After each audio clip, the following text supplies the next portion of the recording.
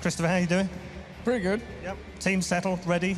Yeah. I saw you practicing earlier, putting in the hard hours as well. Yeah. Okay. You, you're very relaxed, very chilled.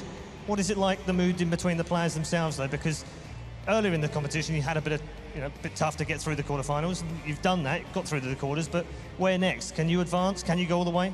Yes. I love GeT_RiGhT. He gives the very best interviews, don't you? Yes. There we go. We finally finished off. Gents, best of luck. Ninjas in Pajamas versus Team Solo Mid.